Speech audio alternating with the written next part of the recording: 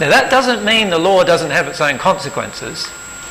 I'm not suggesting that. I'm saying the feeling coming from God towards you is that, oh, the poor person just did another thing to harm themselves. That's sad. Right?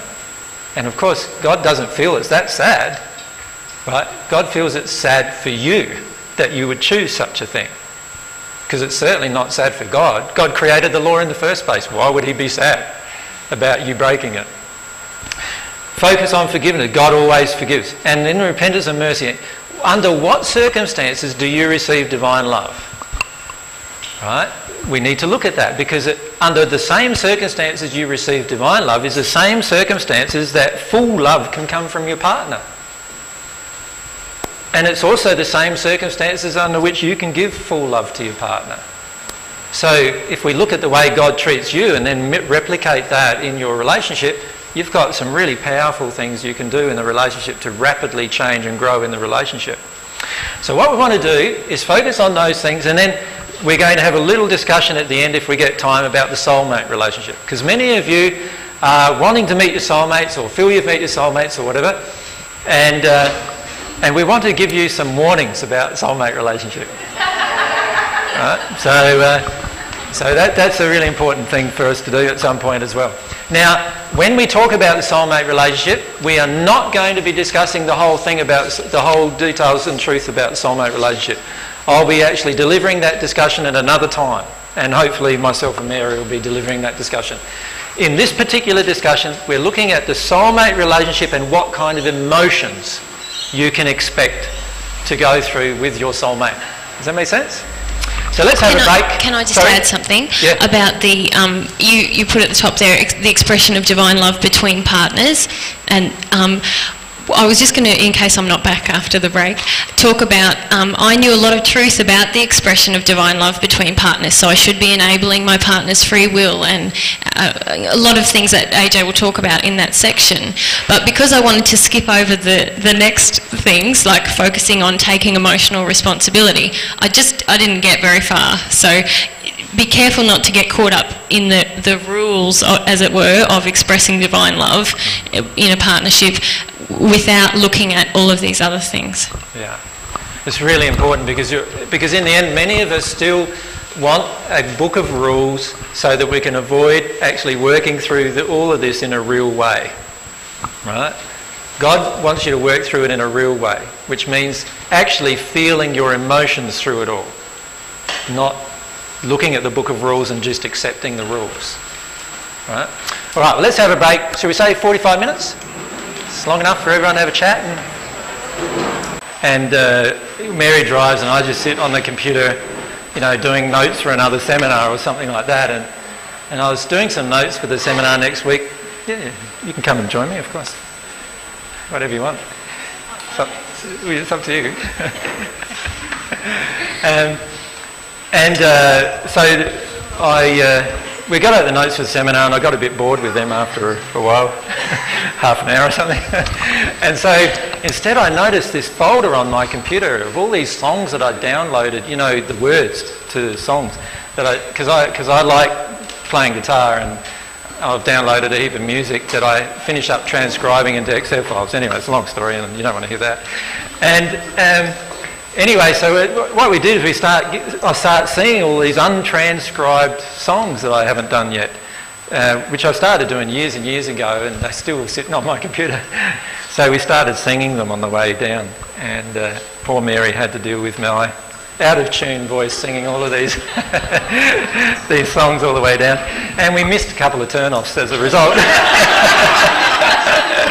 nothing to do with my driving at all. No, nothing to do with Mary's driving. And, uh, and so we finished up having about a, a 35 or 40 minute extra drive out of the city than what we expected. Yeah, such is, such is life, eh? Um, what I want to do now is start going through some of these, some of these things with you. And, uh, but what I feel from you is that there's a lot of tentative, tentativeness in the audience today.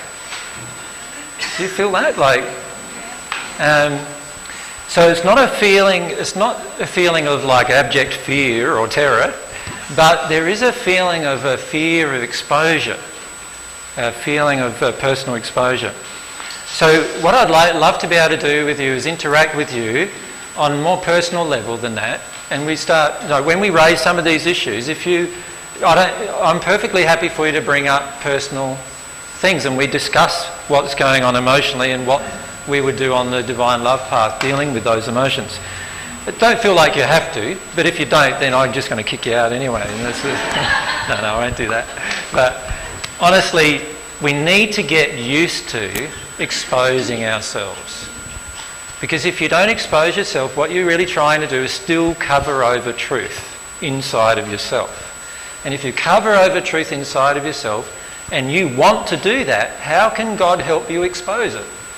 You're using your own free will to cover it over. God can't help you in that situation to expose and to actually see what's going on. So my suggestion is to just allow yourself to feel that nervousness that you feel when you might have the mic in front of you exposing and the nervousness you feel about thousands of other people hearing your life. No, nobody feels nervous about that. And just let it come out because you'll find, in fact, that often your experience is a mirror of thousands of other people's experiences and you can help thousands of people in this process of just being open and exposed. Which is the reason why Mary and myself do that with you. All right, let's uh, look at the first thing expressing divine love between partners.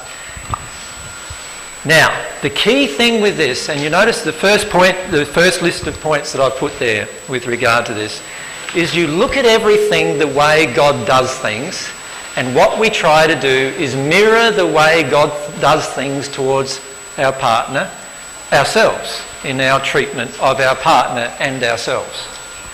Does that make sense? It's just a, just a, it's just a getting what God does and putting it into your own life and into your own heart and running with that. Basically, that's the principle of it. Of course, it's a bit more complicated than that in the sense of doing it, but the principle of it is that. So, what wouldn't we do if we were acting in harmony with divine love? What's the first thing on the list? You know, someone, do someone want to talk into a microphone? And Mike, we, will have to be on the ball here for a fair bit. Go on. You want to? Does anyone want to? Nobody. Sarai, Sarai. Sarai, you want to? Thanks, Sarai. What's the first thing in the list? Uh, to be truthful at all times to the best of your ability.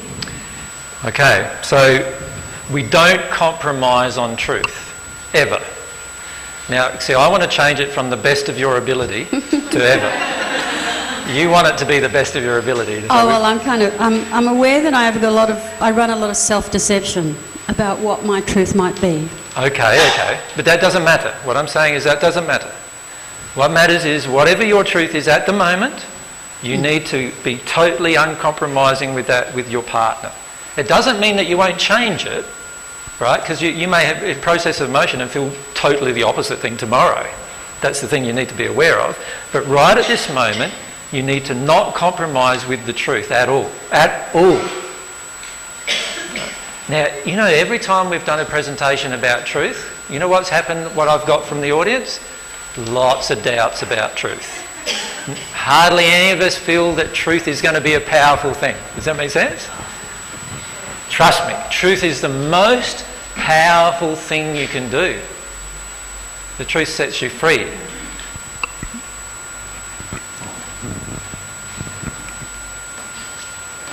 AJ, one of the things I have is sometimes I don't even know what my truth is, except my body feels so bad. Okay, so let's say I don't know what the truth is. Like, I feel angry and I don't even know why. So, what would I tell my partner? I feel angry and I don't even know why. Exactly is what I felt. Does that make sense? Exactly that. That's what I say. I feel angry and I don't know why. And just leave it like that. You don't have to do anything more than that. Just say what you feel at every moment. Be what you feel. That is a very, very powerful thing to do. Now, in practice, what are we often doing instead? Yeah, actually, yeah. I had a feeling for that guy who just walked her past the door. He was quite handsome, and I noticed that, right? My partner doesn't want to know that. What, what will he think if I tell him that? Can you see what we do? So we keep that little feeling to myself. Right? Why do I keep that feeling to myself? Fear is the reason why I keep that feeling to myself. Yeah, fear. What am I afraid of? I'm afraid of all sorts of things. If I tell my partner, he might get angry. So what am I avoiding? His anger. So there's an emotion. Why do I avoid people's anger? I'm actually compromising the truth to avoid their anger. Wow, that emotion will get triggered when I tell him the truth and it triggers his anger, won't it? Can you see that? You see, every just staying staying in truth at every moment will bring up every emotion that you're trying to lock down within yourself. So many of us are saying, I just can't seem to get the emotion. I just can't seem to get the emotion. I'm saying, do you tell the truth to everyone? No, but I just can't seem to get the emotion. tell the truth to everyone and you'll get to the emotions really rapidly, trust me. I can, I can vouch for that. yeah, Mary can vouch for that. Like, gee, your life just goes, whoa. It's like into supercharged mode, you know? That's what happens. So, when we're on the divine love path in a relationship, we do not avoid telling the truth to our partner.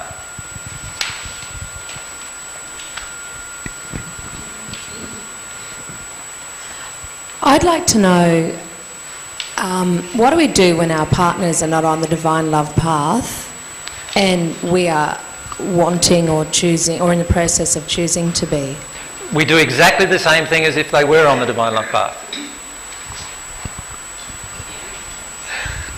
Because, because can you see that when we're on the divine love path, we're living in truth.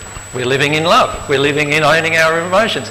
All of those things are going to benefit your relationship, whether they're on the divine love path or not. Right? The problem is that we go down the track first of trying to go into our mind about all this, and then we go down the track of saying, well, he's not on the divine love path, so he's not going to react very well to me telling him that I was just like the like the look of that guy over there. I actually right? do tell him. Sorry? I I don't keep that secret. Okay, good. And then how does he react? Uh, he suppresses everything. That's okay, he's allowed to. How do you react? I, I, I don't say it that often, so. But I speak a different language to him. And he thinks that I'm crazy. When I'm expressing, Yep, he thinks that I'm crazy. yep. So how do you feel about that? Really shit it off. Yeah. Angry, furious. And I actually do throw things at him. Yep, And I smash a lot of things in my house. I'm Yeah. so furious. yep, yep. Yeah. But, but then you're out of harmony with love now, aren't you? Yeah, I am a lot. All right, so, so the question you've got to ask yourself, all right, I get so angry that I just feel like throwing things, right? So that's fine. Mm. You know, uh, have you got a little alcove, or like a concrete alcove outside? Or something like that? You just go outside and throw them at that. Okay. You know what I mean? And just express your emotions. You don't need to throw them at your partner. Because when you're doing it at him, you want him to stop thinking you're crazy. Yeah, you're now blaming him for your emotional response, which is now off the path. He's someone who follows me around when I'm just trying to express it as well, Yep. which doesn't detract from what you just said that I'm blaming him. I know I am. Yeah. And that you'll find when you release the blame of him, he will feel released from doing a lot of things towards you. Does that make sense to you? And the, this is the problem that we face. So, so, first thing to remember if our partner's on the divine love path or off of it, it doesn't matter. If I'm on the path, I need to do the same things either way. That's number one. Second thing, if I'm getting into rage with my partner, it's because I want my partner to change. Right? that is an unloving projection at my partner. Mm. Do you follow me? They don't. Ha- God doesn't want them to change. Like God doesn't force them to change. And I don't mean want them in the sense of desire. I mean force them into changing. When we're getting angry with our partner, we are trying to force them into doing something we want. Right? And that is out of harmony with love. That's out of harmony with free will.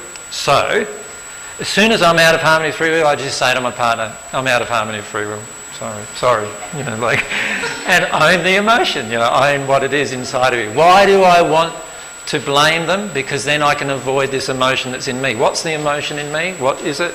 Go into the emotion.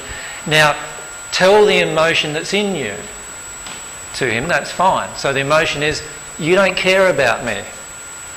That's the feeling I have. You don't care about me. And they'll say, yes, I do care about you. But you could then say to them, well, no, hang a sec. I know you think you care about me, but I don't feel cared for here. Does that make sense? And then go off and feel that emotion, process through that emotion. You'll find it's related to some stuff with dad and so forth, and you process that through that emotion. And then afterwards, you'll know whether he cares for you or not. Similar to what Mary pointed out before, right? When you're saying how you flick through the, the hours of the week and realise that you only had three or four or five or whatever it is hours that you know that you really had quality time, and that didn't feel caring. You come to that realisation after you've processed the emotion. So then you could say to them, hang a sec, you know, after I process this emotion, I still feel that actually you don't care for me really. Now, what are we going to do about that? You're telling me that you are caring for me, but I don't feel cared for in this thing, in this relationship. I feel that I'm not important to you in this relationship. So, can you see? You then allow that emotion. Can you see? Just me saying the truth of it gets you to cry about it, let alone. So, so it's right there. The, the emotion's right there, ready to be felt. It is. Yeah. So that's really good. When you kick into that anger place, then what you're doing is avoiding the pain of that emotion. And understand that every time you're in the anger place like that, that adult anger place, you're in the avoidance of the pain of the emotion. That's a totally different place than the childhood anger place of owning the emotional anger, expressing the anger to, to yourself through yourself, but not at people around you. You see, there's a bit what, what I would call a manipulative projection is when we're angry with another person because we want their behaviour to change. Does that make sense? Libby just got that. I, I just didn't think there was any other kind of anger available. No, there, there is. There is. I, if you if you took your things that you're throwing at your hubby and just went and threw them at the barbecue and really connected to how it feels when a man thinks I'm crazy for just being me, I, I can feel you'd go really deep really quickly. Yeah. Yeah. Yeah, you have the capacity, and in fact, many of you ladies have the capacity to process your emotions very rapidly once you get through your anger barrier. But the problem is that what's keeping you in suppression is your anger barriers, your judgment of your anger in, in particular. Does that make sense? So I'm not judging your anger. What I'm saying is, although many in the audience did judge your anger, what I'm saying is, right, that you need to allow yourself to be angry, but don't project it at your husband because when you're projecting it at your husband, what you're doing then is you're wanting him to change his behaviour. And as soon as you do that, you are out of harmony with God. Right? You're breaking some of God's laws, and it's always going to be painful when you break one of God's laws. Always. And of course, the pain often is the man getting back at you. You know what I mean? That's part of that pain. He's too shut down for that, Yeah. which is a good thing for me, but not for you. In him. your case, he walks away even further, perhaps, or distances himself even further, which actually exacerbates the emotion you feel. But that's what you need to feel that core emotion. Allow yourself to feel that. Jen? Sorry, Mike, up up. I'm afraid to be the real me. I don't know who the real me is to express, and so I be anything else but that. Yep. Anything else. Yep. Now, now, just to give you an idea, Jen, that you're not alone, how many of the rest of you feel like you're pretty afraid, after you've done some emotional work now, you're pretty afraid of what you're saying? Hmm. So, can you see you're not alone? Like, that's like the majority of the audience. Yeah? So, the key is to understand that what we're seeing in ourselves right at this moment is not the real you're never going to discover the real you unless you feel your emotions. Uh, This is one truth of the universe, in fact. You're never going to be the real you until you feel all of your emotions, whatever they are. Then, when you release the ones that are disharmonious with love, you will become what you are potentially able to be. Now, that's going to be a changing process, isn't it? So, don't hold on to your current definition of yourself. You, you need to give that up. Yeah? I just felt you wanted to say something when I said that. what was that? Uh, I was just thinking about how um, afraid I have been to go to some of my dark emotions, and when I connected with some of my anger, um, when I took it away from you and I just connected with some of my stuff, I felt I felt quite afraid of what I was what was inside of me. Mm-hmm. But it wasn't until I, I felt some more of that that I felt. Um, this really deep feeling of repentance and a, a, longing to God to please take this away from me because I know it's not a part of me. Yeah. Whereas before I really identified this is me, these emotions are me. When I allowed myself to go into them, I could feel, oh my gosh, this, this feels so ugly and in me, just please take it away from me. So. Yeah. And that's the thing is that many of us still are identifying with our emotional injuries as, the, as if they are a part of ourselves. But the truth is, they entered you, like you entered your mother's womb free of them, and from that moment on, you got them, right? And you can be free of them again. And when you're free of them, then you'll know who you really are, but not before then, really. Now, you, it'll be a growing process towards knowing who you really are. The key is to have courage. That keep on the process and you will eventually discover who you really are. Jen? So, in my relationship with Graham, um, I, it's 14 months now and I haven't really been expressing the real me. That's right. Because I'll give, give him anything he wants. Yep be any kind of woman he wants. Yep. And I don't want to be like that anymore. No, I no, want no. to find me, you know? Yeah. yeah, I know exactly. Like I've done that for 13 years. I know what that's like.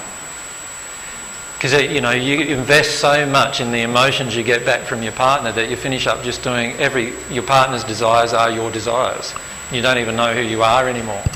But the crazy thing is, is that he wants me to be the real me too. Exactly. Yeah. Yeah. But I don't know who that is. Yeah, you're afraid of who that is. Yeah. Yeah.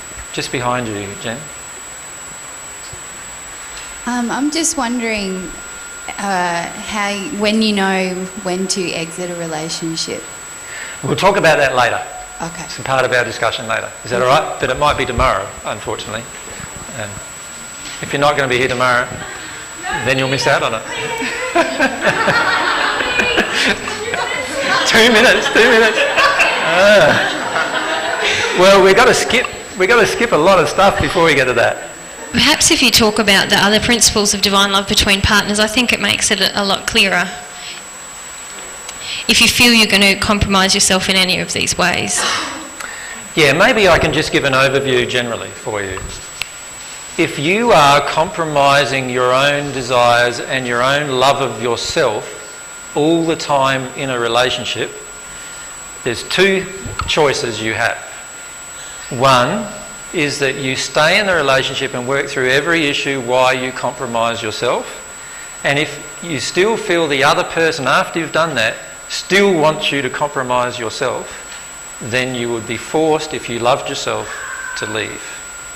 It doesn't mean that you might not come back some other time. But if you cannot love yourself in the relationship, then right at this moment, so there's been many times with myself and Mary where I've left, right? Or, Mary, or I've asked Mary to leave, and she has. Right? And the reason why is because at that moment I felt to stay would be compromising my love of self.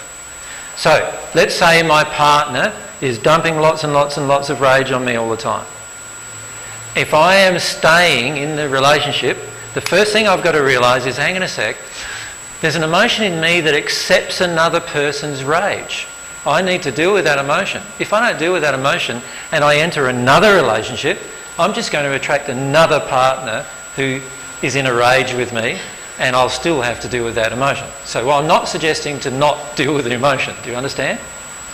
However, if they're in a rage with me constantly and, and I love myself, I I, there's no way I can, I can't beat them up to stop them from being in a rage with me. I can't throw things at them to stop them from being in a rage with me. I can't stamp my feet even if I'm in harmony with divine love in order to stop them from doing it. I can talk to them and tell them, what you're doing is hurting me. And if you continue doing this, I am going to leave. And then when they do it again, you leave. Right? That is an act of love for yourself. And you could say to them, look, I still love you, and, and you know, when you stop doing this and work through the reasons why you want to do this, I'd be very happy to, for, for us to get back together. So myself and Mary have done that, I don't know how many times. Lots.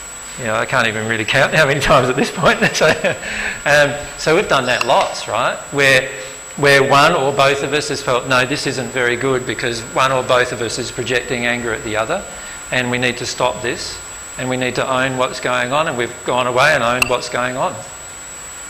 Sometimes it's been a week later, sometimes it's been two weeks later, sometimes it's been three months later when we've got back together. Does that make sense? Yeah.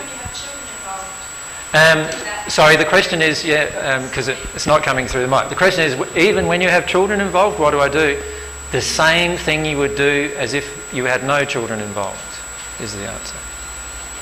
And the reason why that has to be the case is because actually, if children are involved, you staying in an unloving situation towards yourself, what you're doing is you're teaching your girl children, in your case, because you're a woman if you had girl children, well, but if you had a girl child, you're teaching your girl children in that particular situation that women get treated badly and that's what love is and you're, treat, you, you, you're teaching your boy children in that situation that a boy or a man is allowed to be angry with a woman and nothing's ever going to be done about it. So, can you see, even for the sake of your children, you would need to actually say, enough's enough now. My child is getting taught enough bad things here. I need to withdraw from this. Now, what usually happens is there's a group of emotions we need to work through to get to that point. Does that make sense for both of you? So there's a group of emotions we need to allow ourselves to feel. So feel the emotions as to why you allow a man, to, for instance, and I'm giving an example, to be angry with you all the time and stay. Why do you allow that? Or why do you allow a man to treat you like you're not even there? Why do you stay in that? and you'll always find some really deep causal emotions about love of self in that. Right? Deal with those emotions. Work your way through those emotions. And then, after you've worked your way through those emotions, you will feel like you'll know what to do in the situation when you work your way through those emotions. Don't stay in relationships where you cannot love yourself. That's one of the points, remember, in this list. If you look at it, I think, which one is it?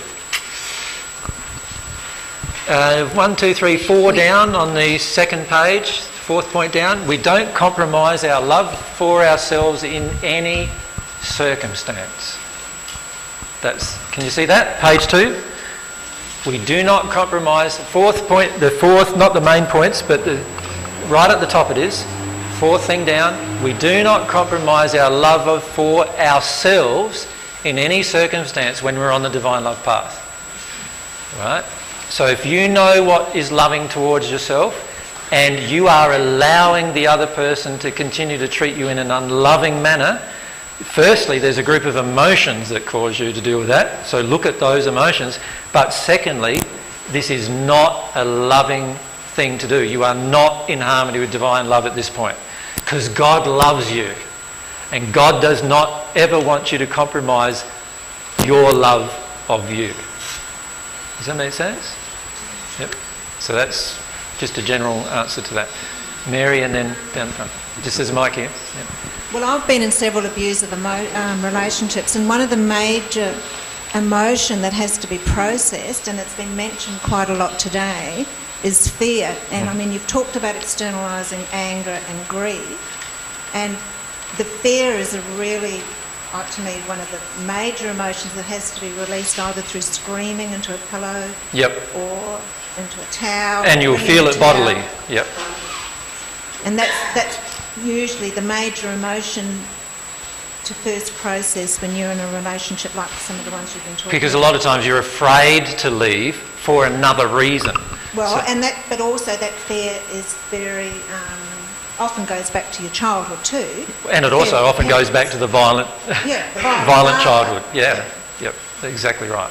Yep. In front.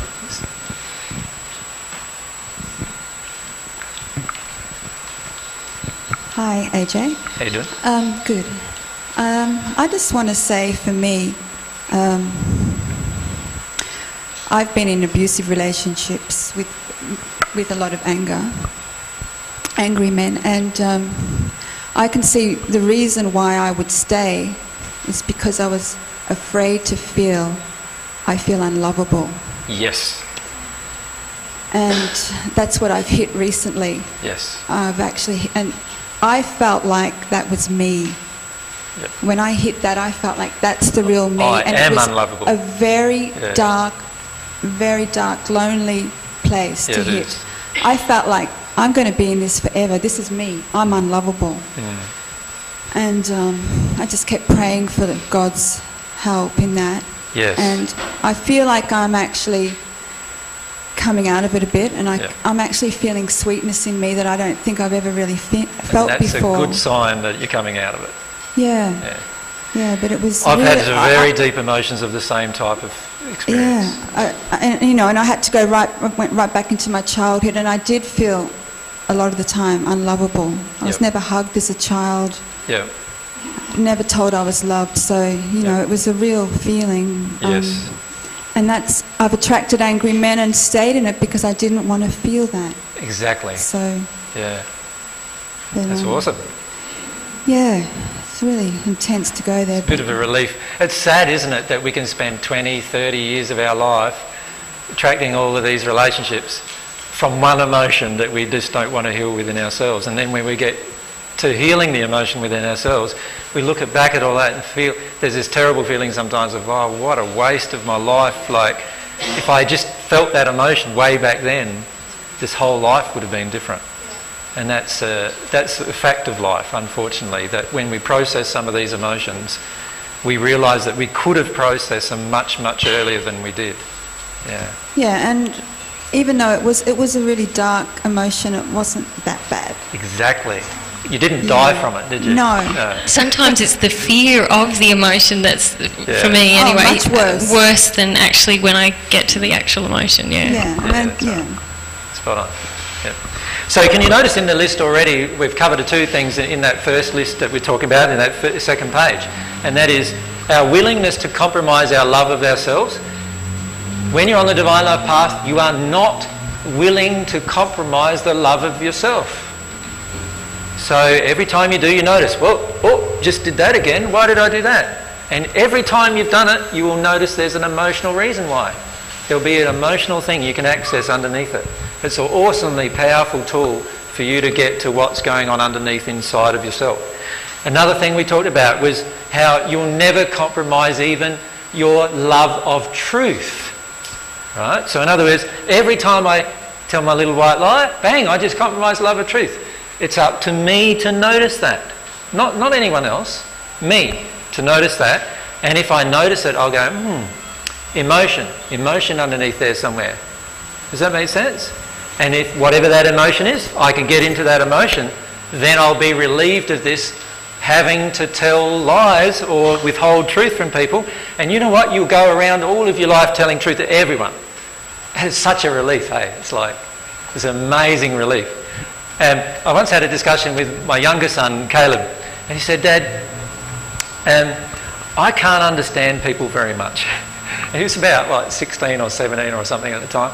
He said, People don't know how easy it is to tell the truth all the time compared to not telling the truth all the time.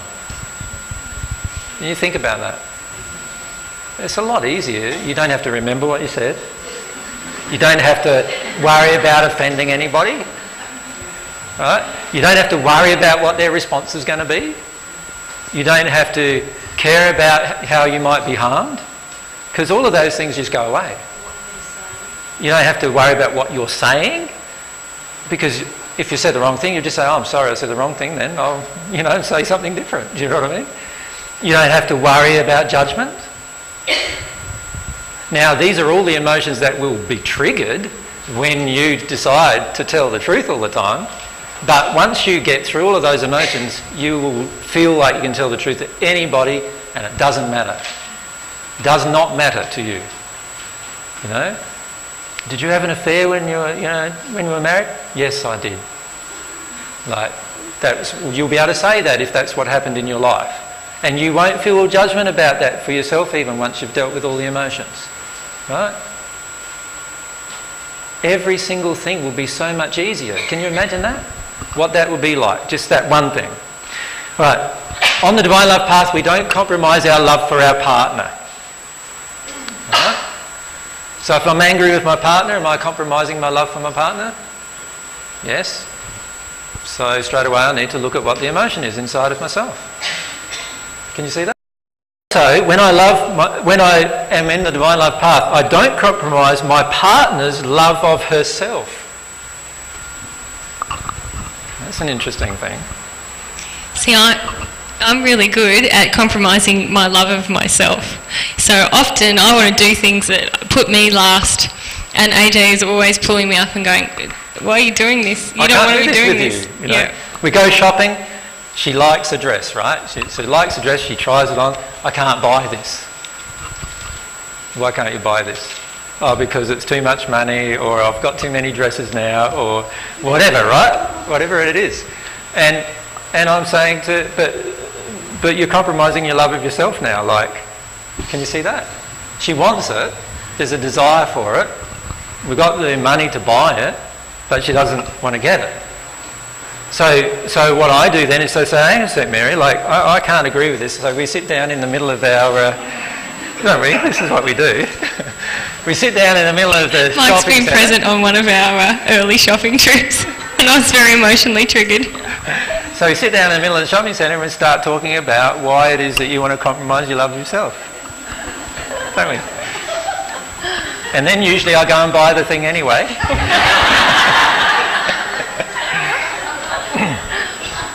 Just to drum it home. But you see, when I don't want to compromise Mary's love of myself, of herself, I am not going to ask Mary to do something that would actually compromise herself. So I'm feeling Mary doesn't want to make tea tonight. Right? I am not going to go and ask Mary to make tea tonight. If I know Mary doesn't want to make tea tonight. Make, even if she promised she was going to make tea tonight. So, you know, in our house we cook, you know, pretty evenly, like myself or Mary. And sometimes, you know, Mary says, oh, I'll cook tomorrow night or whatever. And then tomorrow night comes and she might be in an emotion, right? And I, if I can feel that she's in that emotion and she doesn't want to cook that night, I don't say, well, you said you're going to cook last night, da da da da. I'm now compromising her love of self. Can you see that? She's in her emotion. She's loving herself right at that moment. As soon as I'm asking her to go ahead and do something different, I'm asking her to compromise her love of herself.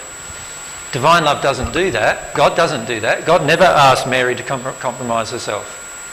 So if I do it, I'm out of harmony with my connection with God straight away, as soon as I do that. That's a really powerful one, isn't it, that one? You know? And then, and then also, I, what if I'm trying to ask Mary to compromise her love of God?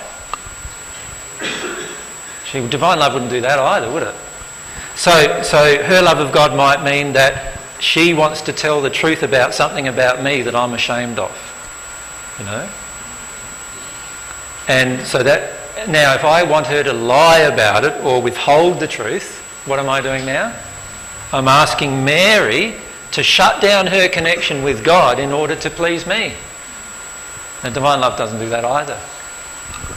And I've, I've done this with you. Uh, with your love of self and love of God when if you're triggered emotionally and it's about something that I've said or done and then I immediately want to make AJ feel better and fix it and, and I've actually then compromised his relationship with God and with himself mm. because he's not releasing the emotion that he needs to release. So if I'm emotionally blocked, am I going to be able to feel God? No. Am I going to even be able to feel my partner? No. And if I'm emotionally blocked, I'm not even really probably going to be able to feel myself, am I? Probably not, right? Now, if my partner wants me to be emotionally blocked, they're compromising quite a lot, aren't they? They're compromising our own relationship. They're compromising my relationship with God and my own relationship with myself. So, if I'm in harmony with divine love in that situation, you can see I wouldn't do that to my partner. Now, you notice I've left, I think I've only li- listed about six or seven what you won't do. You com- won't compromise, and we've mentioned most of them already, right? Of the things you wouldn't do. Just wait for James to off it.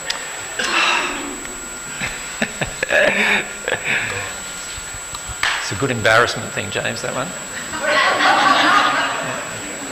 He, he, he, he was just working up to feel the embarrassment.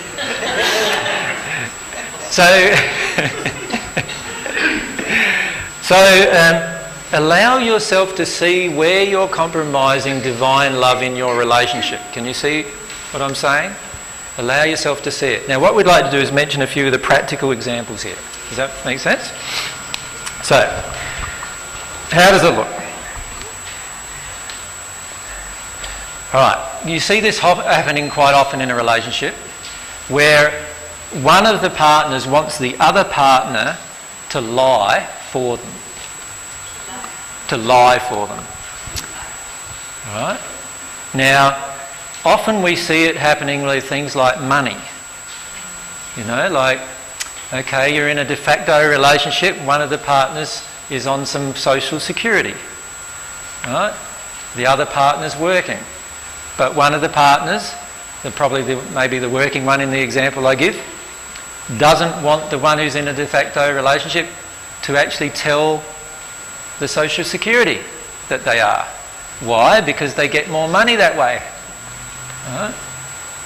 Now, can you see what that's doing? You're being asked to compromise, you're asked, being asked to withhold the truth, which is a lie, right? And as soon as you do that, you're compromising your relationship with God. You're also compromising your relationship with yourself. You're not going to feel your emotions about why you feel like you need to lie in that circumstance. Alright? So, what would you do on the divine love path? You would not agree with a partner asking you to do that, and you would go and tell the truth, even if it meant the breakup of your relationship, and even if it meant that you was $300 less a week in your pocket as a result of telling the truth. That's what you would do. You can see how the divine love stuff sort of makes you start getting some integrity. Yeah, so it's really powerful. How about another one? So next one's what I just said, assisting or wanting my partner to shut down their emotions. Yeah, so Mary came up with that one. she invented it. Yep, I'm the original master. And here's another one a social situation where I control what my partner talks about. I want them to avoid subjects that may make me uncomfortable, and I'm addicted to other people's approval and want my partner co- to conform to my addiction. So my partner starts talking about something that we feel embarrassed about or ashamed about. It might not even be something we've personally done.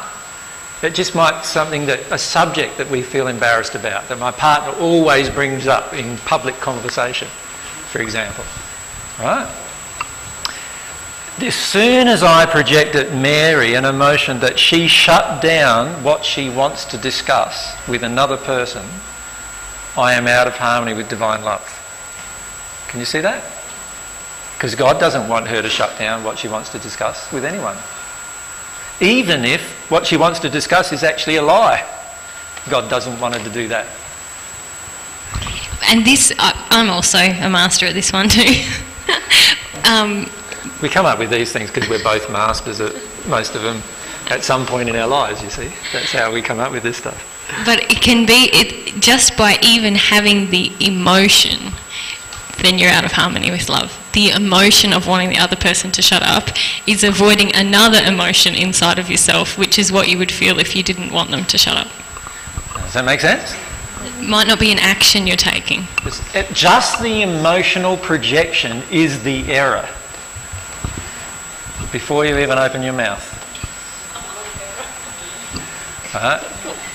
Um, if we can have the mic down the front, thanks, Mike. Thank you. Sounds a bit funny when I say the mic down the front, thanks, Mike, doesn't it? So, Oh, I've got a good example of this very, very uh, example. Just recently, I, I asked my partner not to talk to other people about the fact that he wants us to live on a French canal boat for two years. And I don't want him to. I said to him, it's all right for him to tell people that he is living on a French canal boat for two years because I don't necessarily want to live on a French canal boat for two years. And uh, would he please not to refer to we? And uh, I, I knew that I was in error as I was saying it, and I realised it was to do with my emotions of not wanting to uh, be, be alone. That people would back off me if they thought I was going away for two years. yeah, yeah, But it's uh, exactly what you're talking about. exactly. Mm, yeah. Good example. Yep. And by the way, feel free to pipe up with any uh, of your own examples with these things. Um, one thing I'd just like to point out often we use techniques to control other people that seem pleasurable to the other person and so they don't notice them. You notice that? Yeah, yeah, yeah. We do Paul's got an example. For example, like like we know, you know, favourite cake always does the job, you know, and so so we cook the favourite cake to, in order to, and along with it comes this attachment. Or even a more popular example in a relationship is sex generally, right? Using sex as a way of shutting down the other person's expression, right? We often do that, of, or trying to manipulate them to get certain emotions back. So just be aware when you're using th- things for impure motives, right? Including those things that are very enjoyable. All right, um, another practical example. I sexually projected another person other than my partner for sexual satisfaction, flirtation, or just to feel approval, acceptance, attractive, or secure. All right. Um, example of this. Um, trouble is, there's so many examples, but if I say them, every person who knows me will know that I'm talking about them. You can talk about me. I can talk about them anyway, can't I? Yeah. Yeah. Because you see, even doing that would be modifying what I'm trying to present to, for the sake of their emotion. Can you see that? Anyway, so, all right, let's give you an example of this. Let's say a woman, all of her life, has had this very deep feeling of a lack of security that she doesn't want to feel. And in her life, the only way she's managed to get security is through a man providing it. Now, this security might be just financial security. You know, find a powerful man who is able to get a lot of money and you have a relationship with them, right?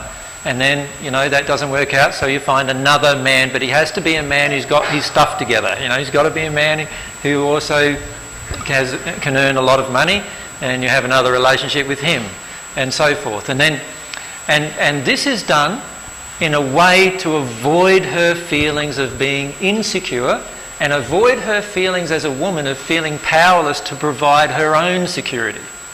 Does that make sense? That's the underlying emotion driving it. So what she does is she flirts with or sexually projects at at least another male other than the partner she's with in order to feel an emotion of secure, I'm secure now, back from him. You see, oftentimes we view somebody as interested in us won't harm us. You see the relationship? If, I, if somebody's interested in me, then there's, a, then there's a chance they won't harm me. And the more interest I can generate in them, in me, even if they're not my partner, the safer I become. So that means that, it, and you'll see sometimes people doing this, flirtations with every person of the opposite sex around them to, just to so that they can feel secure inside of themselves. Right? That can happen.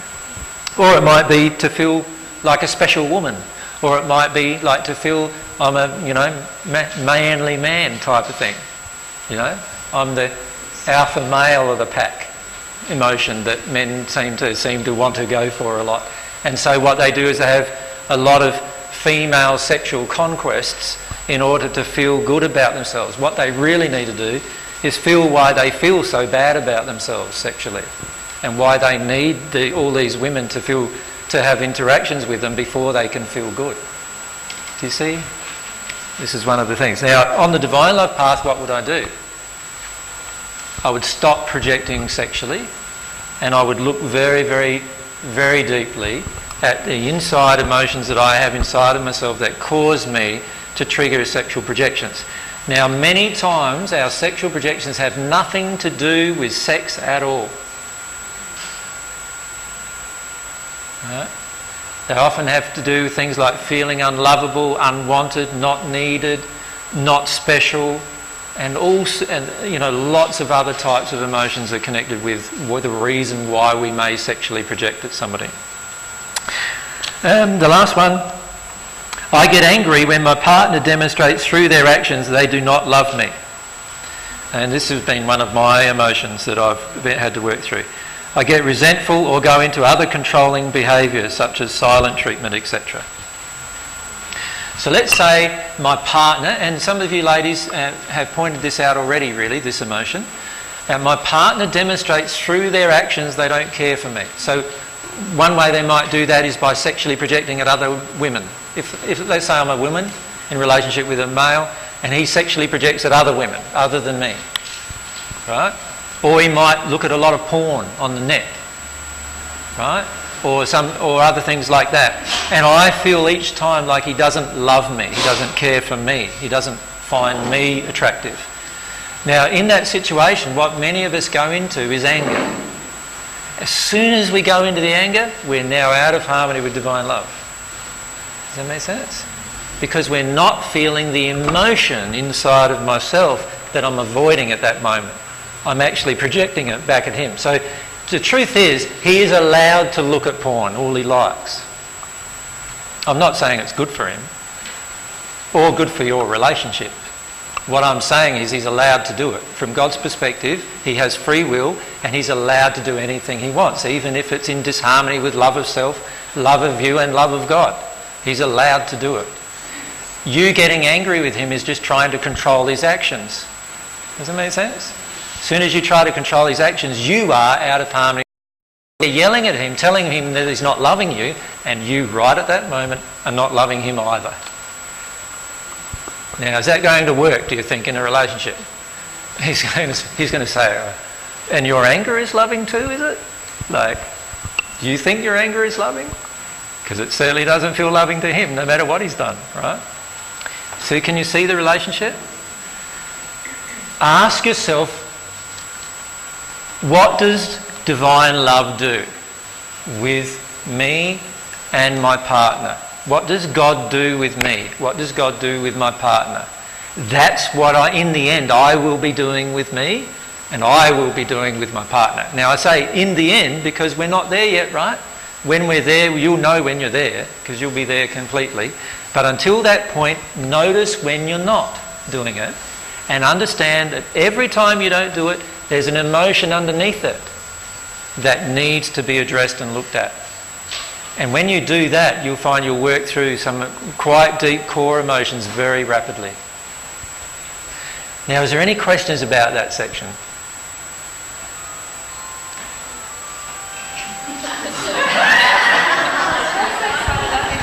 Who else needed to be embarrassed? I'll do it for you if you want. Is there any questions you would like to ask about that? Um, up the back there, thanks.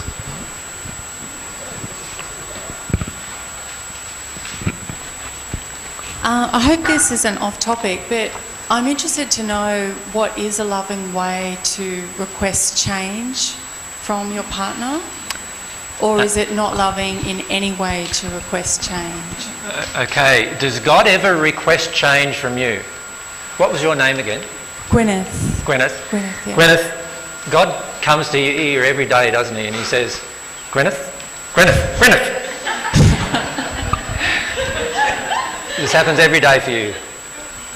No. No, it doesn't, does it? No. So God doesn't do that, does he? No. So God doesn't come into your ear and say, Gwyneth, I want you to change on this thing. No. What does God do? God waits for you to have a desire to change, and then God gives you every bit of assistance you need to change. Your law of attraction just changes, bang, you get all this different help from all these different people automatically as soon as you desire change. So, the trick is in the relationship. What do I do with Mary? The question I have, I have to ask myself is, does Mary want to change for herself? Now, if she doesn't, what does that leave me with?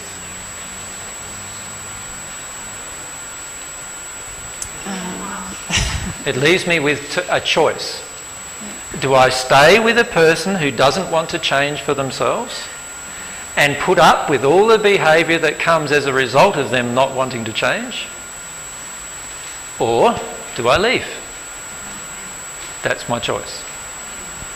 And I can present that choice to Mary. You can present that choice to your partner. But you cannot keep on asking them to change on all these little things all the time and stay in harmony with divine love. Because God does not ask you to change anything in your life. So if you feel that Mary is hurting you, if it's if it's concluded that Mary has hurt you, Mhm. do you dis- when you discuss that? Can I correct that firstly? um, Mary, if I'm in harmony with divine love all the time, it's impossible for Mary to hurt me. Yeah, I know. Mary can cheat on me, she can even murder me, and she still hasn't hurt me. Yeah, I know what you're saying. Um, but, But- if if she's constantly projecting anger at you, Right? That's okay, I'm and, fine with that. and you're both acknowledging it, Yes, and now you want to discuss it, now I'm out of harmony. so no discussion. I don't need to discuss it.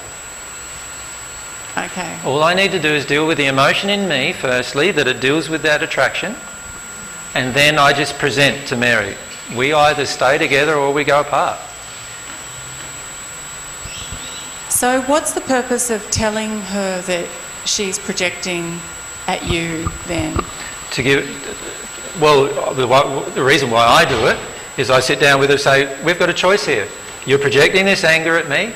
We either can stay together or we grow apart. What do you want? Now, if you stay together, this is what has to happen.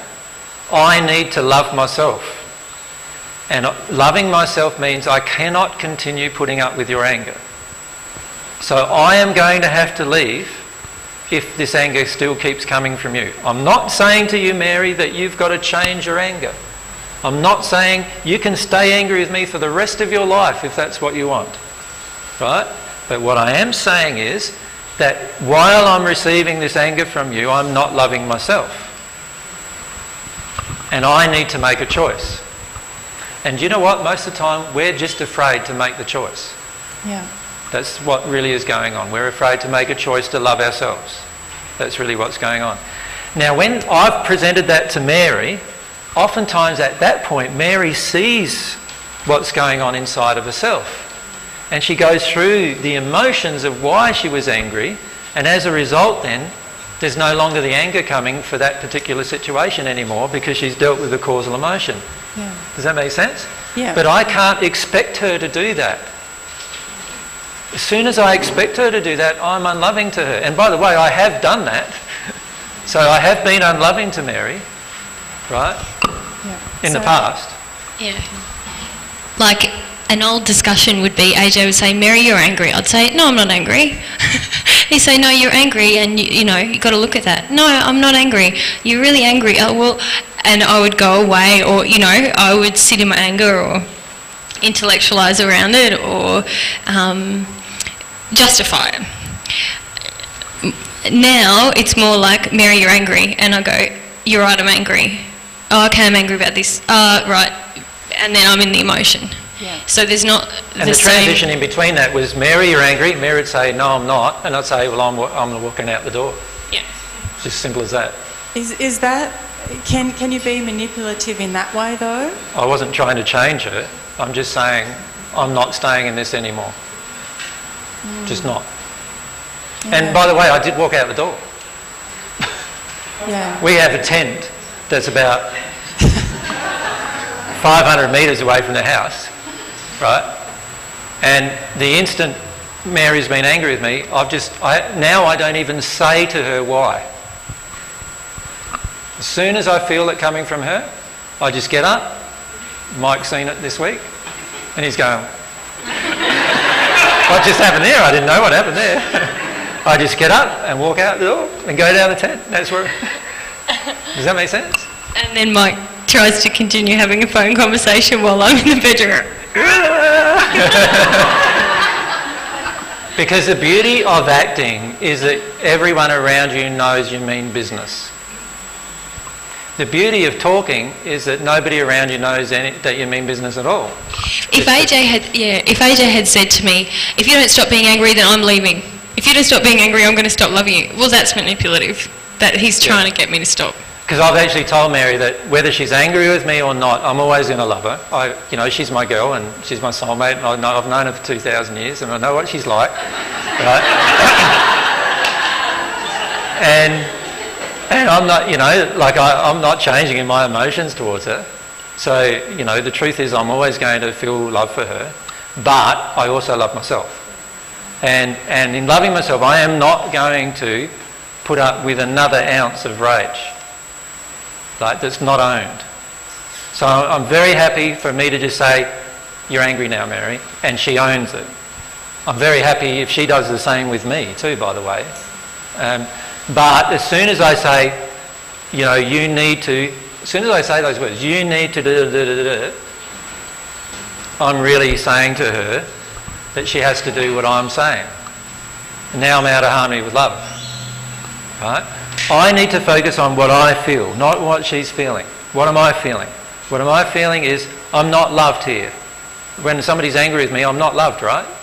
I'm not loved here. Why am I putting up with a situation that's unloving? That's the question I need to ask myself.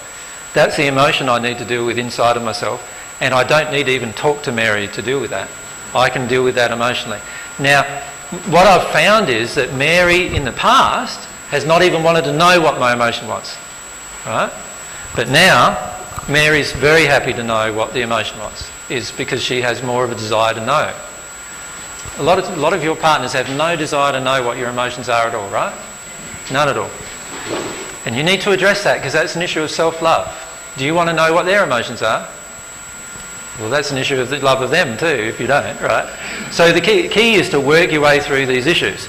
Now, if I expect Mary to change on anything, even if she's doing something that's harmful to me, my expectation is unloving. You'll get to a point in your progression on the divine love path where you don't expect any, any person around you to treat you in any way. Right? In other words, there'll be people around you treating you very unlovingly, condescendingly. Uh, many of you have treated me this way, by the way. I'd like to remind you that you have. Unbeknown to you, like many of you have treated me condescendingly. But what about the first time I told you that I was Jesus and you heard that? What did you do? Many of you go, oh, yes, is Jesus. well, you know, don't, don't you think I feel that as an emotion of condescension? Of course I do. But I still love you. You're beautiful, right? And I work through the emotion of it. So there's been many groups in the past. You think I've been doing this for quite a number of years now. So there's many groups in the past where I've gone to and I've gone home and cried for four days because of the amount of projected emotion that I received at those groups. Right? But when you're on the divine love path, you do not expect the other people to change. What you do is you own your own emotions about what happened. You feel them. And the irony is you, tend up, you end up attracting a whole different group of people who treat you differently when you do. Right? So it's a rare thing then to be treated condescendingly. You'll notice it next week. Next week's an introduction to Secrets of the Universe, right? Any of you who bring along your friends or whatever, when you're going home in the cars and having the chats and whatever, you'll feel lots of different emotions coming from them about their response to what's presented. Right? Many of you have heard this stuff now for a year or two, right? So, you, or, and, and some maybe less, but many of you have heard it for a year or two now, and you now have felt the truth of it into you, right? But at the beginning, many of you had those same emotions.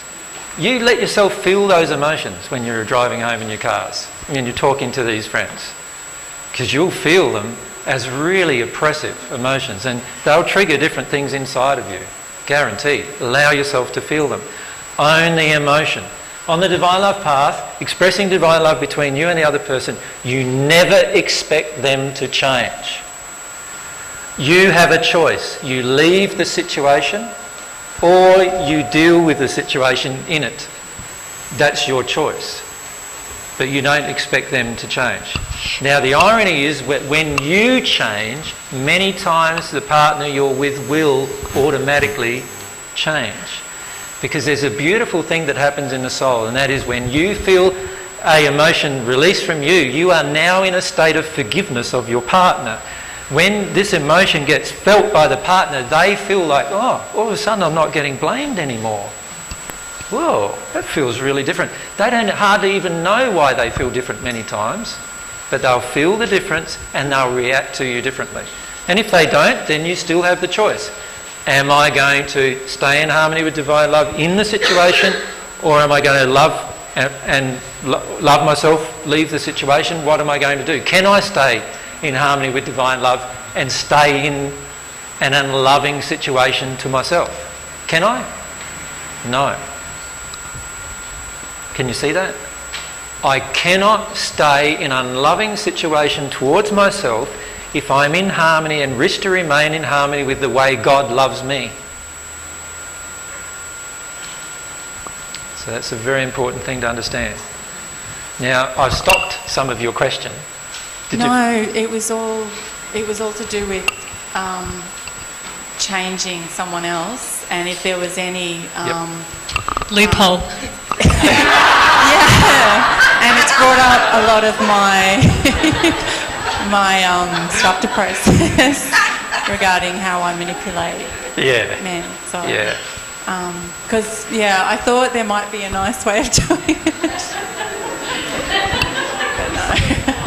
Can I just make a general comment for many of you ladies, and this is not a sexist comment, but it is a, due to a lot of multi-generational emotional injuries that many of you ladies have learnt to manipulate men without being direct. Because when you're direct with a man, generally you get a very direct response. Does that make sense? But when you're indirect with a man, often you can get a different response. Now, that is a multi generational emotional injury based around your own security and your own safety and your own fears in your relationship with men. If you can allow yourself to work through that emotion, you'll find you'll be able to actually be very direct with your partner all the time, and many of your partners will love it. Like you're just afraid because many of the fears you have in yourself come from multi generations of women who have been abused and harmed and who have had, they feel had to have used these techniques in order to get what they want, in order to get protection and safety. And it's a multi-generational women for, uh, issue for many women to work through. Yeah.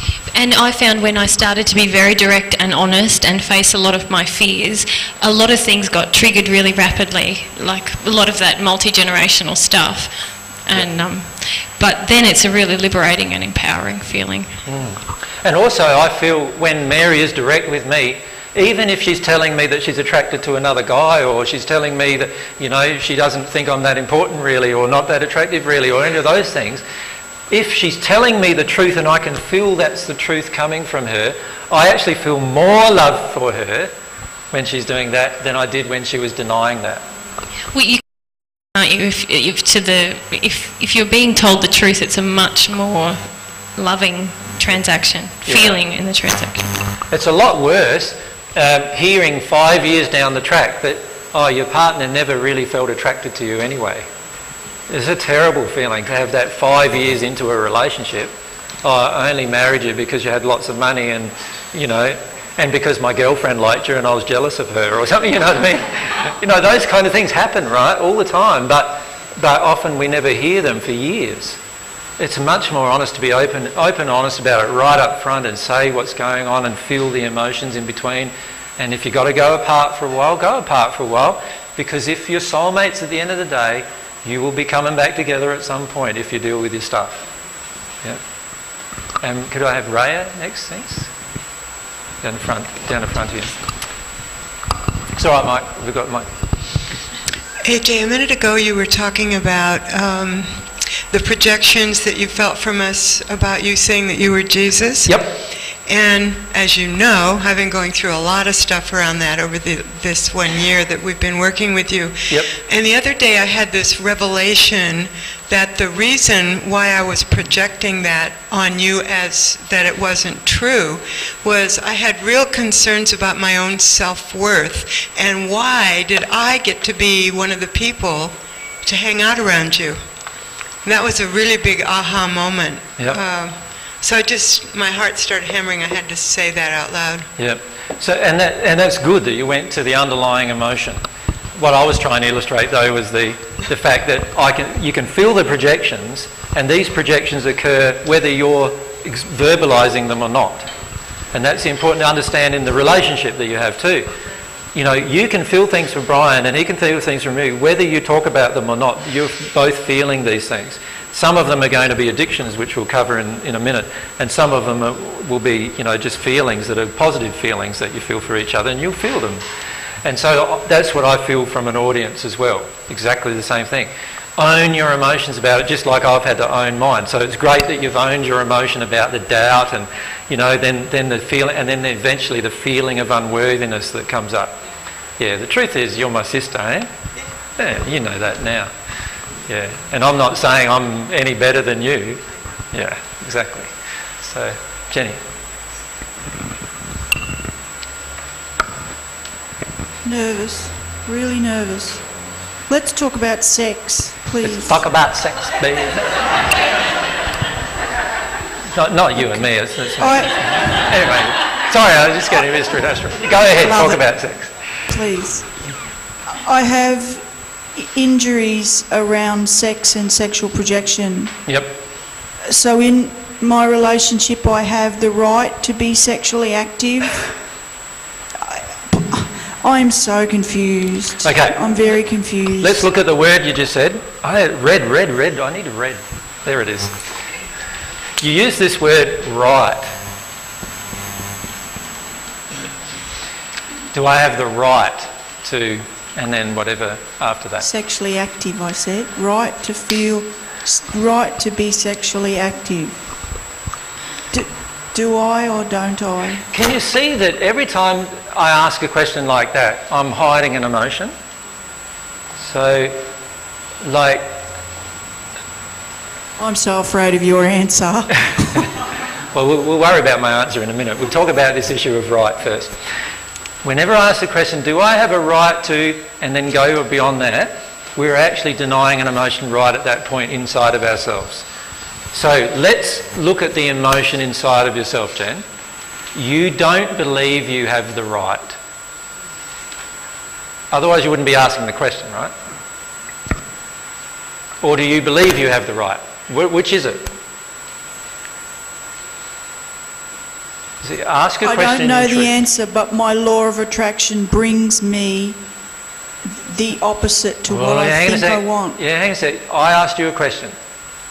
What do you feel is the answer to your own question? Because you already have a very firm belief about the answer. I'm so scared. Even say You need to say what you feel. What do you feel?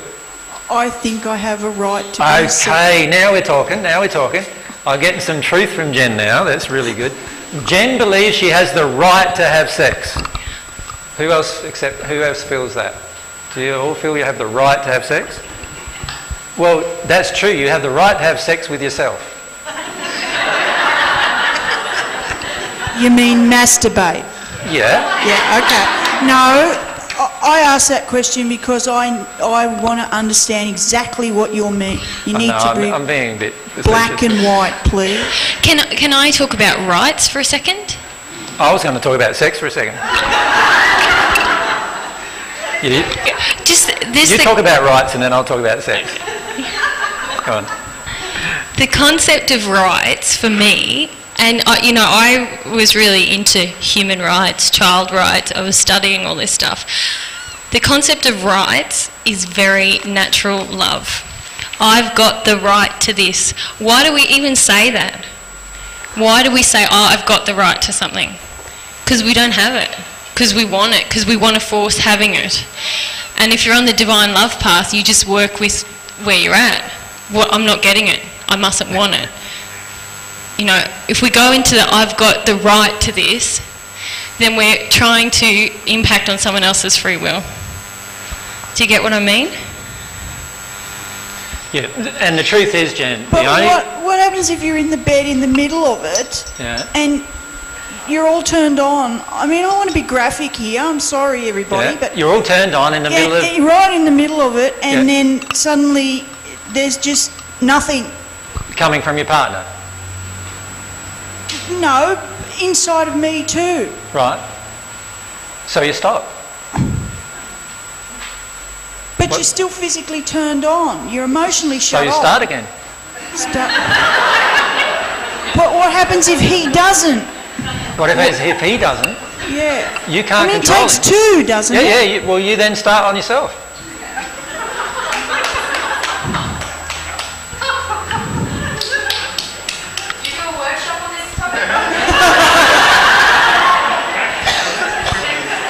Yeah, well, the truth is we will be talking a lot about these kind of topics, but, um, but we won't be doing a, a graphic example. Um, ever, Oh, that's ever, boring. ever. Myself and Mary are very private about those things. But the key thing to understand from principles... What does divine love do in that instant? Jen, can I, can- sorry. Go, go, go for it. Can you answer that question? You know. My sister, because you have been coming for so long, you know the answer. If you think about the principles of divine love, what are they? Free will, desire, love of self, love of your partner. If you're having sex with your partner and suddenly one of you loses the desire, what is the answer? You just stop. Yep. All And feel the emotion that it triggers. Yep. And if you still want to have sex, then you can do it with yourself. But what do you do if you're in a loving relationship and not getting fulfilled? And it comes to the point where you know you need to break up. You know, like When you say you're not getting fulfilled, touched. ah, see that's different than what you said. Can you see? Can you see many of the what questions you're asking? divine asking? love do? Do you still have Can I just stop you for a moment? Many of the questions you are asking, Jen, are loaded because they're not what you feel. You need to start saying what you feel, right? What do you feel? What's the feeling you have? You feel that when you're not touched, you're not loved. Yes. That's what you need to express as your feeling. Can you see that? But the confusion is because of the injuries in the past. I, I'm not sure whether that feeling that I'm feeling is true or not. Uh, But it's true because you have it inside. Right now, it's your personal truth. So just feel about it and allow it to leave you and allow God's truth about the issue to enter you. Because at the moment you're not allowing God's truth to enter. Because you- you're so addicted to the to, to having your own, you're not, not even you're denying your own emotion even about it. You're loading every question you ask at the moment with, well, tell me, this is really an emotion coming from you. Tell me what God feels about this situation, so that I can tell my husband what he or what my partner what he should be doing. That's really what you're saying, right at the moment. And you don't recognise that yet. But I don't want to tell Graham what to do. Yeah, you do. Because, yeah, you do. I'm saying you do. You do want to tell Graham what to do. Because you don't feel loved when he does what he's already doing. Do you follow me? And instead of just feeling unloved, you want to have Graham make you feel loved. And so you want Graham to touch you more. Does that make sense? You want him to touch you. And just that projection at him, you touch me, is an unloving projection. Because it's not honouring his desire. The only time he should ever touch you is when he desires to touch you and knows you desire to be touched. But if he says he doesn't desire me, what am I left with? What you're left with is feeling the emotion of a partner who doesn't desire you. How does that feel, Jan? Shocking. So feel it instead of asking the question. Do you see what I'm saying? Feel that emotion. How does that feel? It's terrible. Like I've had that emotion too. I've felt that emotion. It feels terrible. So feel it. Let yourself feel it.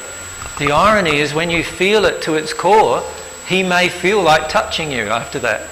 And if he doesn't, then you can say to him, Well, now my love of self is I can feel from you you do not want to touch me. I can feel from you. I just want to check something. Oh, relief. It, just is, it is recording. It's just like, I just had this flash for some reason. There's this relief, like, what, what needs to happen is you, you need to allow yourself to feel the emotion that he doesn't want to touch you. And feel that to its core. When you feel that to its core, you can then ask him, Do you want to touch me or not? Because, because the feeling I have is that you don't want to touch me. And because of that feeling, I feel that this isn't love. That it's not love that you're feeling from me, for me. Right? But do it after you've felt the emotion. Because at the moment, you're trying to make him touch you instead of feeling the emotion. Does that make sense? Yeah. You want to say? Uh, just and also try and feel your emotions, Jen, about sex, touch, and love, because there's a few. Well, there's a lot of distortions in there for a lot of us women, um, and for yourself and for me. So try and be really honest with God about what you feel about sex, when you get sex, when you get touched, when you feel loved, and how that all fits together. Because the truth is, they're three different things. They might be an expression of each other, but there's some differences in there. At the moment, there's still that separation between sex and love, and you feel that you can demand sex, and that means that you're being loved. And that's not the case at all. If, if you have to demand sex from somebody, you are not being loved anyway, right at that moment. And you just need to feel that you're not being loved and work your way through that emotion. Yeah. And that's what you feel, isn't it? Deep down, you feel this isn't love. Yeah. Now, the truth is, at the moment, there's also a very heavy projection at Graham. So, from the man's perspective, what he's feeling is this barrage of, you've got to touch me, you've got to touch me. I won't believe you love me until you touch me. Does that make sense? Now, what that feels like on the receiving end is like a demand. Does it, do you follow me? It feels like a demand on the receiving end. It feels very controlling on the receiving end. And so, if a man's sensitive to his own emotions, what will he feel? Hang on a sec, you're demanding that I touch you? Hang on a sec, like, I'm only going to touch you when I feel like touching you. Is, so there's going to be an automatic resistance to even touching you because of the demand. Can, can you see? And this is the trouble, is oftentimes what we're doing is we're projecting huge demands at the other party instead of actually feeling our own emotions of hurt. I've done this myself with Mary. Like I've had huge emotions of hurt with regard to, you know, um, me being attractive and me being um, like sexually attractive to Mary and all these things coming from our first century experience. And as a result of that, I've had to go through lots of emotions of feeling like I'm like Mary finds me zero attractive. Like, you how, how does that feel? My soulmate finds me not attractive at all. I'm not saying that's how she feels now. I'm saying that's how I felt. Does that make sense? And so I had to feel that emotion. Now, when I'm in that emotion and, and not feeling it, not ex- what I'm doing is I'm demanding Mary touch me. I'm demanding Mary finds me attractive. Can I do that? No, I can't really. If I want to be in harmony with divine love, it has to come from within Mary. And if, if I know it's not coming from within her, and I don't feel any of those emotions from her, I need to make a decision. Gets back to the same thing. Is this loving of me or not? I need to make that choice. And you know, most of us avoid those choices, don't we? For years. Like, you think, thanks, sir. Um, if you put your, keep your hand up, yeah, so that's it. Yeah. I just wanted to say to Jen, thank you very much for your vulnerability, the two of you. Both extremely beautiful to be willing to be. Can't hear you very well, Steve. Oh, ah, sorry. I just feel that you're very, very beautiful. And I honour you both completely and utterly for opening up in this way. Yeah. Beautiful, Jen.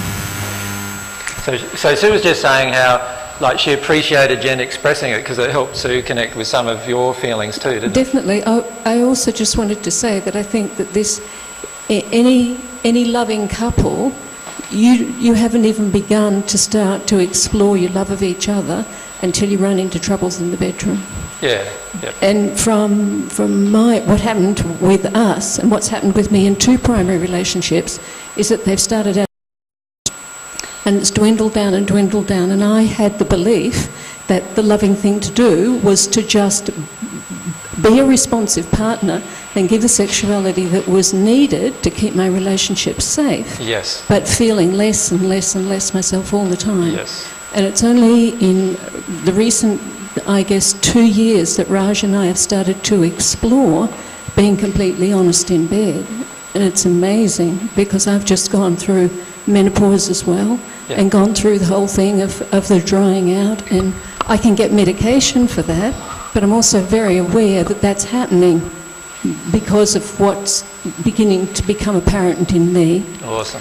Yeah. And what we're exploring now is that we just come into intimacy together and then, uh, like, maybe even um, Raj will penetrate me, and we, but we lay there and he holds space for whatever emotion or physical pain or whatever I have to go through. Yeah. And that is so much more meaningful than, than what I used to do, which is be this doll who had to keep, you know, keep the whole image of a relationship intact and alive. And I just think that I, I don't know anybody who doesn't hit these walls if they're going to stay in a relationship together. Yeah.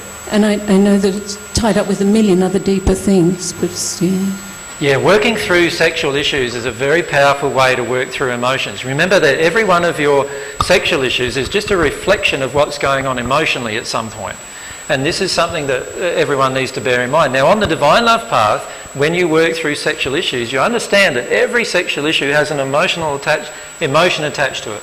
So if, I, if I'm a man and I feel unresponsive tonight, there's an emotion attached to that inside of me that I feel towards a woman.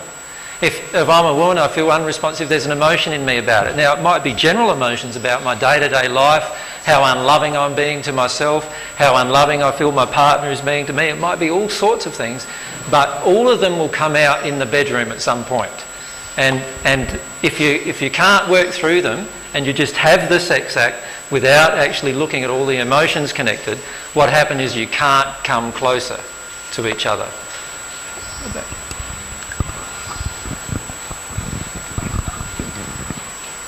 Um, I have emotional injuries around sex, and um, I have a huge fear of men and a huge fear of love, so I avoid it. Yep. And I know that I'm out of harmony with myself for that and the divine love, but I just feel so much fear. She feels so much fear about. Sorry. About. Sorry, I'm just trying. uh, Can you say it a little louder, perhaps? I know you. It's hard when you're emotional. I know, but I'm just trying to explain it because Mary's had exactly the same emotions you've had, and she can help you with this.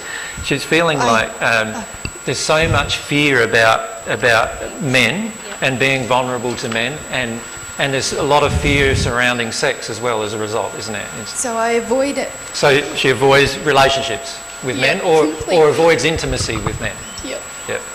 But do you feel you also have a feeling of needing security? Or Yes. Yep. Yes. Okay. So there's those things going on for you. Yep. Um, and, but Um, my question is, and I'm only just becoming aware of it. Yeah. Um, I I feel like I've been processing I'm unworthy all my life, Yep. and um, that is a causal emotion. And No. I'm, no, oh, If it was a causal emotion, you would process it and it'd be done. right. So, so it's not a causal emotion. Or what you've been processing isn't causal. Yeah. Um, and my other um, part of it is um, when men are interested in me and they show interest, and my initial reaction is to run the other way. Yep. Am I?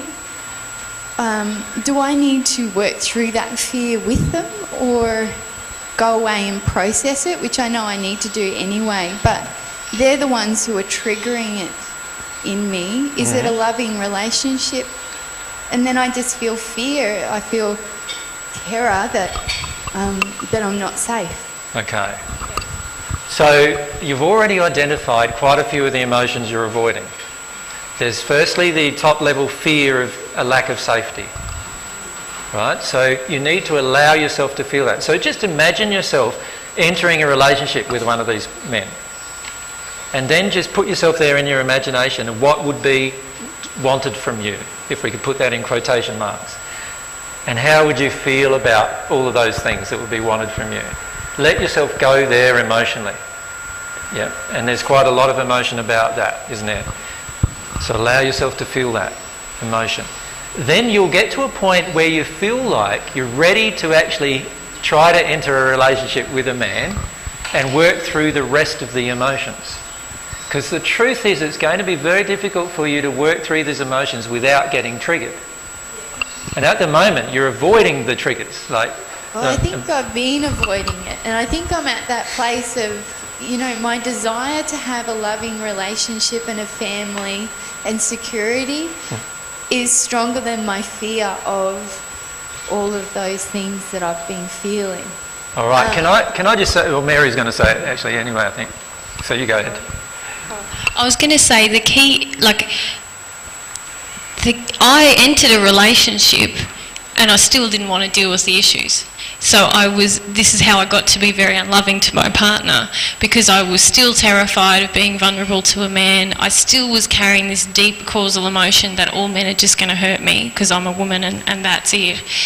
And it wasn't until very recently that so for for over a year, I just stayed in a relationship and projected that and put walls up and and then very recently I let myself connect to that and um, did all kinds of things to trigger myself sexually as well away from AJ because there was a lot of things coming up in our sex life but because I was so full of shame and terror and all of this kind of thing it just even though he was lovingly encouraging me to go to the emotion, I, I just really couldn't do it until I actually triggered myself um, away from it. So the key is, even if you feel like you're ready to go into the relationship, make sure that you, you're ready to be emotionally um, open to process what comes up. Yeah, and and with where Mary's, what Mary's been doing lately is totally different to what she described initially, and that is, lately what she's doing is that as soon as she feels the emotion, she she goes into the emotion straight away. And what changed in her was this strong desire she has now to do it for herself. See, before I really wanted the relationship, but I really just didn't want to. Like I didn't want to reclaim my own sexuality. I didn't want to do all this for for me and for my relationship with God. I wanted to do it because I, I wanted to just be in the relationship. So it was always a half-hearted attempt. And it wasn't until I thought, well, even if I lose this relationship, I've got to be honest about where I'm at, about sex and about men and about all these things, that it, it really changed. So just check your emotions about like wanting security and don't let that dominate in the relationship. Like that's why it's good if you can start to process now before you enter a relationship. Yeah, and that's the other thing I wanted to mention was that you mentioned a, a few things of why you wanted a relationship. And to be frank with you, a couple of those things are way out of harmony with love. You said, firstly, uh, well, at the end of it, you said that you wanted security. Well, that's a fear, and that's going to drive you into all sorts of problems with a relationship. There's another thing you said was you wanted a family, right? Now that's another fear that yeah, is going I to don't want cause. to feel the loneliness anymore. Sorry. I don't want to feel the loneliness anymore. Exactly. I'm, I'm sick of avoiding it, you know, the shame and all of that, because when I look at that, that's what I get. And So yeah, I feel the loneliness now. Yeah. Do it while you're alone. And if we want to get married so we can have a baby, we're basically demeaning the man.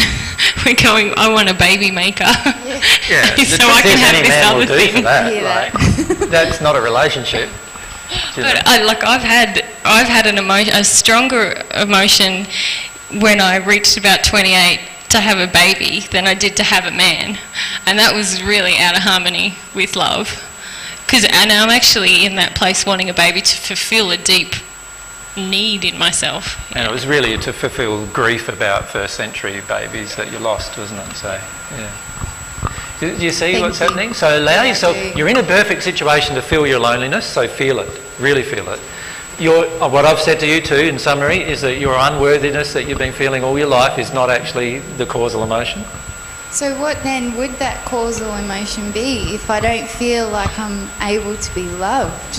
Where further is there to go than that? That I'm, do you know what I mean? Like I feel, I just, When you say, when you, you said you don't feel like you're able to be loved, yeah, I don't feel lovable. you don't feel lovable. Like I can't be loved. No, but see, I would put to you actually you don't want to be loved. Why would I feel that? what you've might happen if you that. loved? Pardon? You've already answered it. You said you're afraid of being loved. If you were loved, what will happen? What are the things you believe will, hap- will happen if you're loved? A lot of pain. Yeah. Can you see why you don't want to be loved? You don't want to be loved. Mary had this too. She doesn't want, didn't want to be loved because inside of me loving her was all this pain about our previous relationship that she didn't want to feel. Our, you know, the relationship we had for our life together that she didn't want to feel, the loss of that. So, you know, at the moment you do not want to be loved. And you need to look at why you don't want to be. You're using unworthiness as an excuse to not get to that emotion. Thank And- you. Yeah. It's a big emotion for you that love equals pain because you've created a huge other emotion, a self deceiving emotion that feels quite painful, but that pain is, feels preferable to you than feeling the pain of what might happen if you open your heart to be loved. Mm. Yeah. Does that make sense? Yep, totally. Thank you. And by the way, I'd like to make a comment generally on people's feelings of unworthiness. You will find in your own emotional processing, if you've said, a lot of people have said to me, I've processed my unworthiness for years. Well, you're processing the wrong emotion. Do you understand? When you release an emotion, when you actually do your emotional processing work and you release an emotion, the emotion is gone. I used unworthiness for, for, five, for five years or more in order to not come out and just say who I was in front of a group. For five years I did that. I used unworthiness to not even talk to Mary when I first met her as an excuse. I used it as an excuse. Like, she'll find me unworthy. What's the point? Can you see what that does? What that does is it takes away my responsibility to actually act. Does that make sense to everyone? By feeling my unwor- so-called unworthiness, I'm actually disclaiming that I can't, I'm saying I can't do it because I'm unworthy. And really what I'm doing is just avoiding acting in most cases. All right? And this is what you're doing. You're avoiding acting in terms of ha- having a loving relationship. And your question, you, are, you know the answer to the question is, why am I so afraid? It's not because you're unworthy, it's because you're afraid of the pain that might result when somebody leaves you or when something happens to them or they might die or all sorts of things might occur, right? And that's what you're afraid of opening your heart into a relationship that then closes down on you for some external reason and how bad you're going to feel after that. And that huge emotion in me actually is a huge issue in our sex life because I don't want to be emotionally vulnerable, uninhibited because what might happen, you know? So it affects everything. Yeah. Anna? I um. It is on. All right. Um, with like, I was talking to you guys ages ago about feeling like um, I couldn't. I just wanted to stay angry at Tristan because that was that felt safer to me. Yeah. Um, then, then opening up my heart, I felt like if I was to open up my heart to loving and to being loved, that love would go and I would feel like less of a person.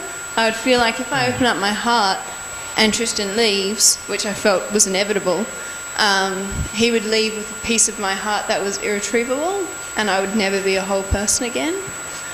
Um, and I've still got those feelings to work through because I can feel it at the moment. Um, but but I feel like I had this huge, huge cry about um, how I feel about my dad dying and how how, how I felt like you just don't die on somebody you love. Like how I felt I was so unlovable as a person that my own dad could leave me. Like even though intellectually he died, it wasn't his fault, it was an accident, it still felt like it still felt like that. Uh, and since then I feel like I've been able to I feel a lot more open and a lot more able to love Tristan without without such overshadowing fear. So you're saying? It's just like exactly the same emotion as me, Anna. Yeah. So Mary felt like if she falls in love with me again, that I died in the first century and left her. And so it's exa- exactly the same emotion. You just had it with your father. That's the only the difference. Yeah. Yeah. Big emotions to work way through. And when you unblock them, it's amazing what happens to the rest of your life. Yeah. Anyway, it's, uh, it's after 5.30 now, so um, perhaps time to stop this evening. Um, tomorrow we're just going to continue this discussion with questions and everything, so that's what we're doing tomorrow.